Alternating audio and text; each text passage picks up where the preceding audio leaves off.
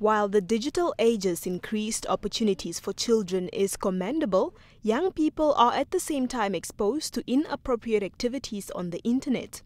Research conducted for a recent study of knowledge, attitudes and practices regarding the use of the internet show that only 7% of these young people in Namibia do not use the internet or mobile phones.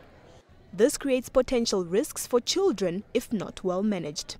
The Ministry of Education, Arts and Culture has developed a trainer manual for integrated health in schools to assist in dealing with violence against children, including online violence.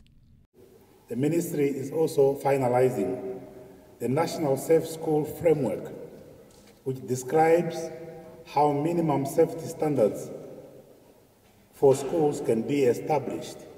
The government has put in place laws and policies to ensure that anyone who targets a child for harm will be answerable to law enforcement.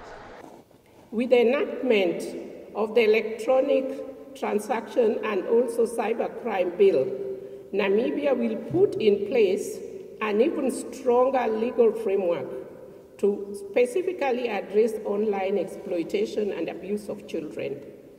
At the same time, parents and caregivers are encouraged to pay close attention to their children's online activities.